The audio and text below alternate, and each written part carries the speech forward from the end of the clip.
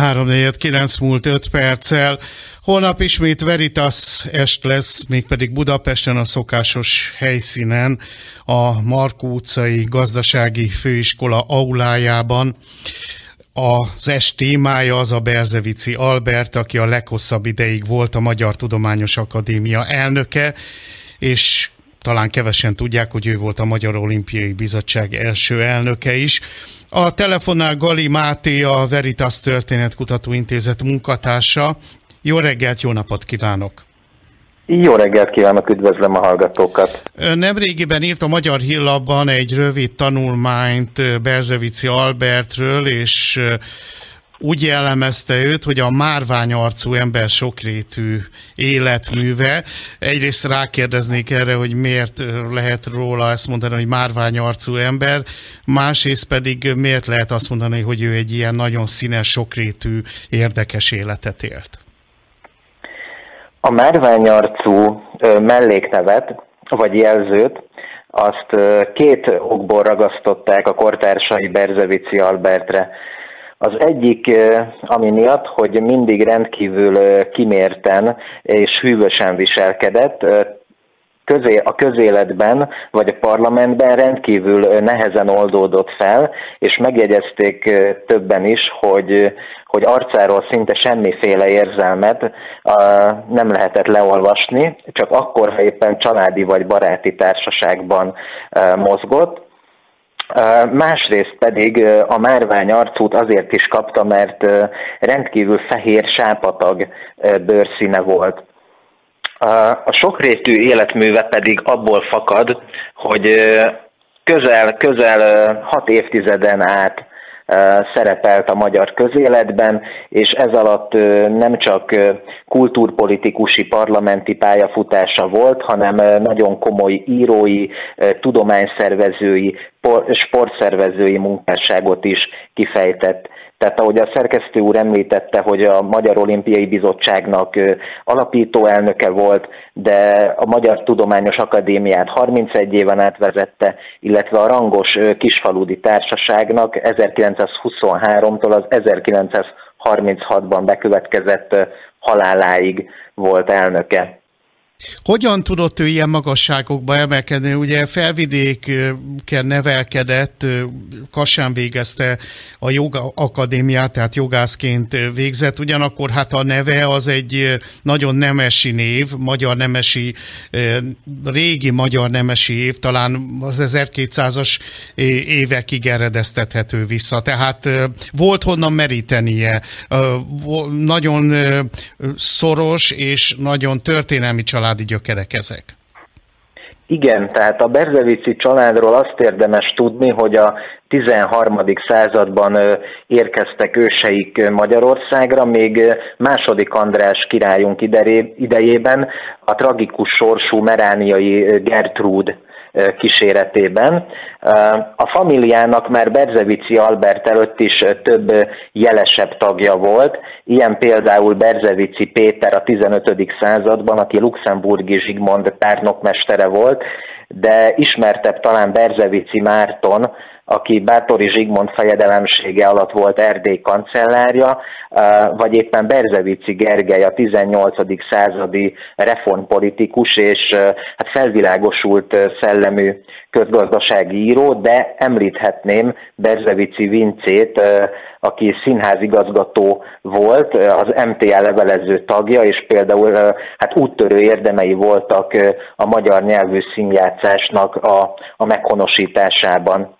Egyébként Berzevici édesanyja, Szinyei Merse Amália, az egyik, egyik legismertebb magyar festőnek, Szinyei Merse Pálnak volt a nagynénye, tehát Berzevici Albert és Szinyei Merse Pál unokatestvérek voltak.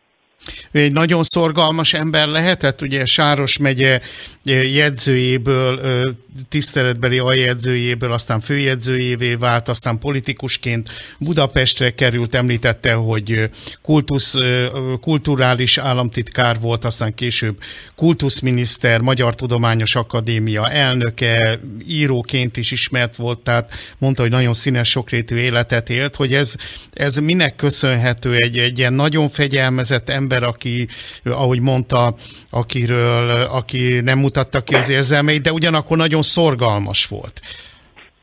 Igen, tehát elsősorban én úgy gondolom, és ahogy vissza is emlékeztek rá, hogy szorgalmának és kitartásának köszönhetően jutott egyre feljebb és feljebb a ranglétrán.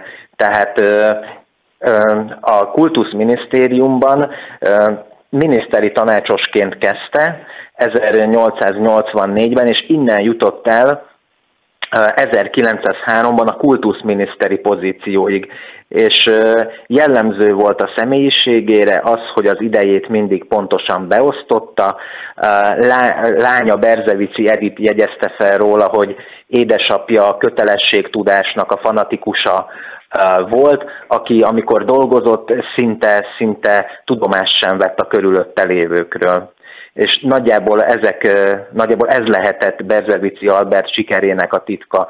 Tehát a, a hatalmas szorgalom több, több nyelvet megtanult, és magas szinten beszélt olaszul, németül, franciául, valamelyest angolul, szlovákul természetesen, miután felvidéki családból származott gyermekkora óta tudott, ezek, ezek mind-mind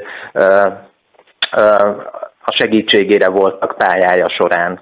Mégis ebből a hatalmas életműből mit lehetne kiemelni, hogyha egy területet kellene választani? Azt hiszem, hogy Berzevici Albert esetében a kultúrpolitikát, illetve a művelődést lenne érdemes kiemelni, ugyanis ő egész életében a kultúrát és a művelődést tekintette a fő profiljának, és ő maga egyébként a magyar nemzeti szellemű kultúrpolitika, illetve az oktatásügy terén a, a, a magyar nyelv prioritásának volt, volt a híve. És egyébként még halálos ágyán is a magyar kultúra tudomány győzelméről szóltak az utolsó szavai a jelenlévők feljegyzése szerint. Ugye ez 1936-ban követ, 36-ban 36-ban 83 éves korában, jól számolom? Igen, 83 évesen, igen. mert 1853-ban született. Egyetlen kérdés, még nyilván akik többet szeretnének megtudni Berzevici Albertről, azok majd holnap elmennek a gazdasági főiskola aulájába este 6 órára a Veritas Estek szokásos helyszínére, hogy hogyan viselkedett ő az első világháború alatt, ugye országgyűlési képviselő is volt, illetve a horti korszakban, tehát ő a, a napi politikától mennyire tudta magát függetleníteni? Hát az első világháborúban a napi politikától nem tudta magát függetleníteni, mivel ő országgyűlési képviselő volt.